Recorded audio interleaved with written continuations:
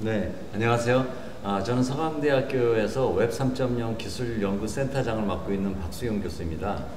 오늘 아, 특별히 그 코넬 대학의 아리 주엘 교수님께서 한국에 방문하셔서 아, 저희 서강대학교 세미나 하시는데 세미나 하기 전에 교수님과 여러 가지 이야기를 좀 나눠보려고 합니다.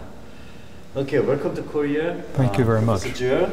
Uh, could you briefly introduce yourself and purpose of uh, visiting in Korea this time? I'd be happy to. Uh, uh, I'm Ari Juels. I'm a faculty member at Cornell Tech, which is an applied sciences campus, um, a essentially a joint campus uh, run by Cornell University and the, the Technion.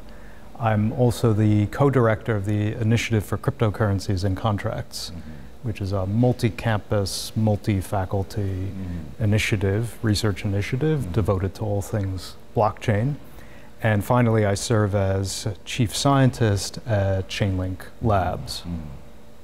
Um, well, I'm here for the launch of the Korean edition of my novel, The Oracle. Okay. I see.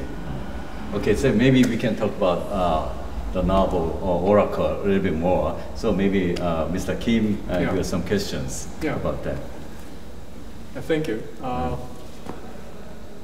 I actually, I'm the first person to read the novel Oracle Ah. as Korean, Okay. and uh, this just sounded fascinating, not only scientific perspective, but also this novel itself explaining the details of smart contract blockchain.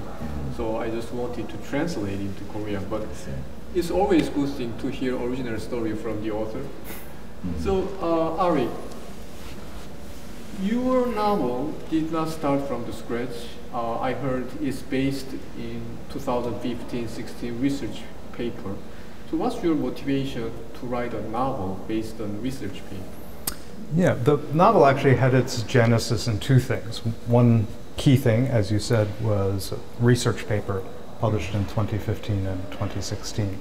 This was the first research paper that I co authored on a concept known as a smart contract. Okay. This is a program that runs on top of a blockchain. Mm-hmm. And because it runs on a blockchain, it has some very special properties. Okay. One of which is that in theory, it's unstoppable.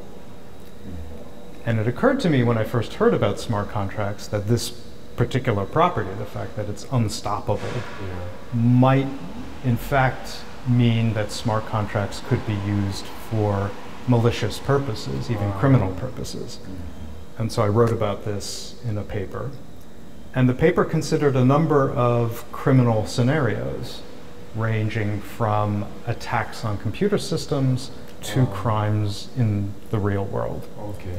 After writing that paper, I came to realize that smart contracts had many beneficial applications as well, Sure. and both end up featuring in my book. But that paper led indirectly to my writing the novel. The second inspiration for the novel Yeah. was a piece of architecture, Mhm. actually. A beautiful sky bridge. This is a Ah. bridge that traverses two buildings. I have been there in New York. You've been Yeah. to that bridge? Yeah. So as you know, it's an, it's an elegant bridge Yeah. dating from the 1930s that spans two buildings Mm-hmm. across the street. And I used to pass it every day on my walk to work. And I've always loved sky bridges. But this one in particular I found intriguing because it occurred to me that it would be the absolutely ideal spot for an Mhm. office. I wanted an office on that bridge. Okay. It's right in the heart of New York City. It's beautiful, windows on both sides. And one day I was passing this bridge, and the hero of my novel just appeared there in my imagination. Okay. So these two things together led to the creation of the novel. Very interesting, very interesting. So sounds like your office is uh, beautifully located. So when you go up in the morning, you want to go to work earlier. That was my hope. The, that bridge is part of Google's offices now. I see. So, Uh, yes, and I, I got to visit the uh, offices there recently, and so I got up close to the bridge, but I wasn't quite able to enter the bridge. Gotcha, gotcha. Yeah. Thank you. And my second question is the oracle is really the central part of your novel. And we know the oracle from the Greek mythology. And also we definitely know the oracle as decentralized network. So how can you think of this weird combination of Greek mythology with the current center part of blockchain technology? It's certainly not obvious what the connection between Yeah. the two is other than the word. Okay. But in fact, there is a deep connection between oracles in the ancient world and oracles in blockchain networks today. Mhm.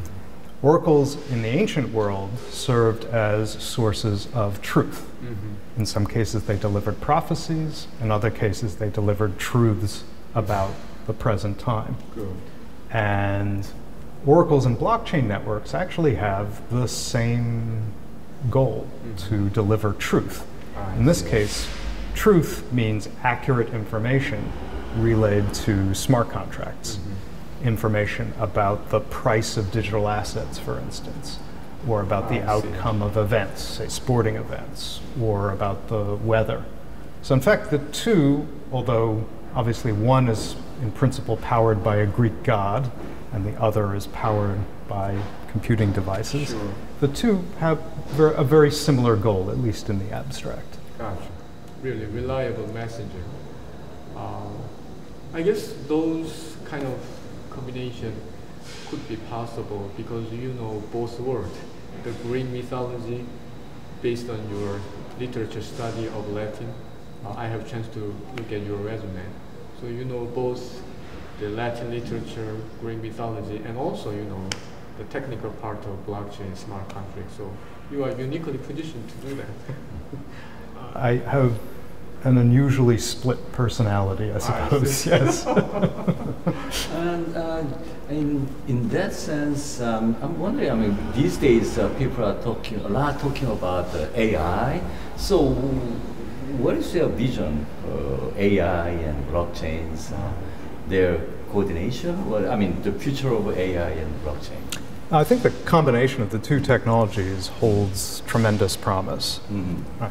Now, the novel is about some of the risks that we incur in Mhm. combining these two technologies if we're not careful. But let me talk about some of the benefits to begin Uh-huh. with. Uh, smart contracts are not really contracts and not really smart. Mhm. As I said, they're just code that runs on a blockchain. But they can enforce legal agreements. Mhm. The form of legal agreement they can enforce is very restricted. Mhm. They can only enforce legal agreements that can naturally be expressed in the form of code. So they have this kind of rigidity. Mhm. But if you combine smart contracts with machine learning, for instance, with large language models like ChatGPT, then you can relax some of the technical restrictions on the capabilities of smart contracts. Uh, smart contracts now can express not just the concepts that can be formulated naturally in code, but concepts that can be formulated through human language, through Mhm. human expression. And they can do things like interpret legal codes and understand social norms in principle. Mhm. And so that's where the promise lies. But there's a risk as well. And the risk is that by creating more powerful smart contracts, you enable their use for malicious purposes. This was the topic of the 2015 2016 paper we were discussing just a moment ago. I see. Yeah, I mean, there's a dark side and also a bright Absolutely. side, and yeah. Yeah. But further, kind as a, for me, as a university uh, professor, I mean, is there any kind of a area of research for the future, like a combination of AI and blockchain? A- absolutely. Can you kind of uh, recommend? Yeah, I'm happy to talk about that.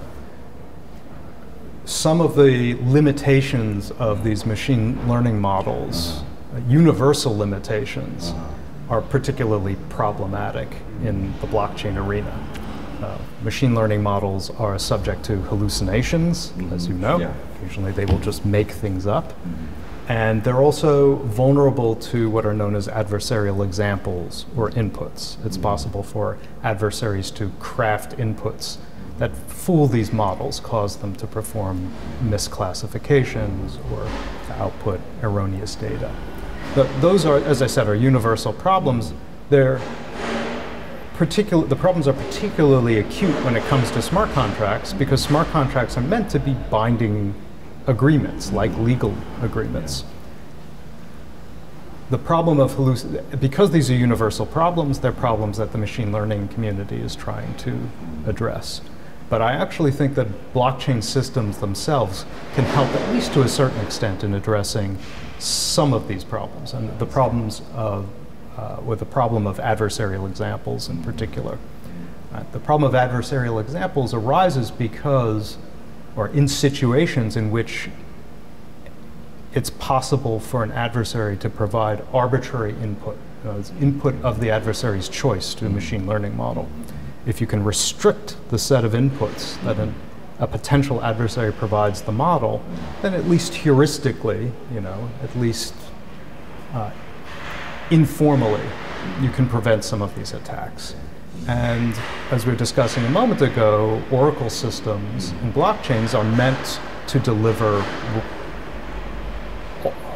data that comes from authoritative sources, authentic data in a sense.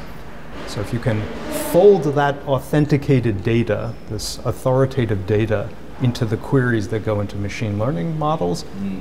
then there's the possibility of limiting the scope for adversarial examples. Right? That's an open topic of re- research. Okay. Yeah, very interesting. Thank you for food for further thoughts. my pleasure. Yeah, my last question would be, uh, Ari, you are a very known person, a lot of credentials from security technology. Uh, in Korea, many banks of Korea, when you open new bank account, they give us FAB, the security, the code. Yes. And you are chief scientist at RSA you contributed a lot, and then you naturally evolved into smart contract blockchain technology. So, did you enjoy uh, your travel up to now?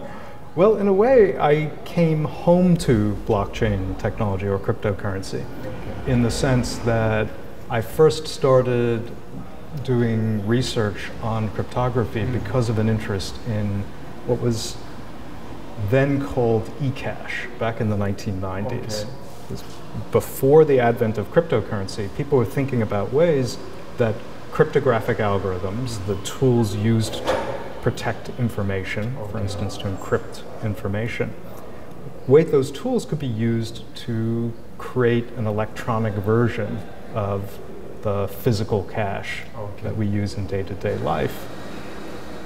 And that was the inspiration for my studying cryptography to begin with. Ah, I see. Uh, later, I started exploring other applications of cryptography, but then rediscovered the important role that cryptography can play in finance when Bitcoin and technologies that came in its wake gotcha. um, arose.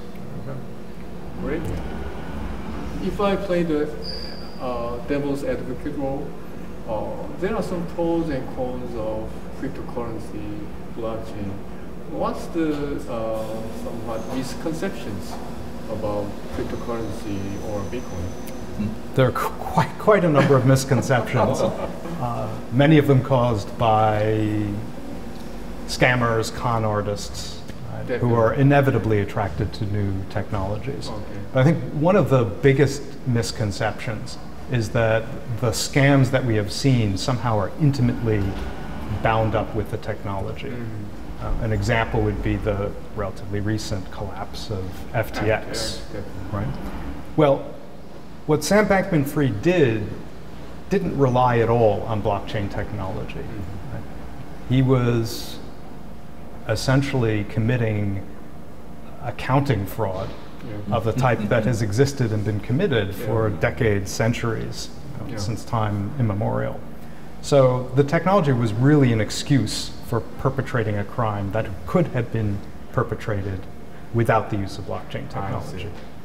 And so that's, that, that is a major misconception. Another major misconception is that blockchain technology equals Bitcoin. Okay. And Bitcoin was the inspiration for blockchain technology, but mm-hmm. blockchain technology has much broader scope Definitely. than Bitcoin, Yeah. than cryptocurrency. Mm-hmm. And smart contracts, these programs that can be run on mm-hmm. blockchains, that provide a lot of flexibility when it comes to crafting new applications, I see. are an example of a f- or a facet of the technology mm-hmm. that is essentially independent of Bitcoin. Gotcha. Gotcha. So, Ari, in essence, your knowledge, philosophy, and your unique view are all covered by this book, right? I, I would say so. I put a lot of myself into that book. Yeah, the Oracle. and this is not just storytelling book. This is really science fiction, crypto thriller novel in its own kind, breaking, groundbreaking novel. So please read this book with Ari's strong recommendation. Okay. Yeah, thanks for visiting Korea. Thanks for visiting Sogang University. Pleasure. Thank you for having me here.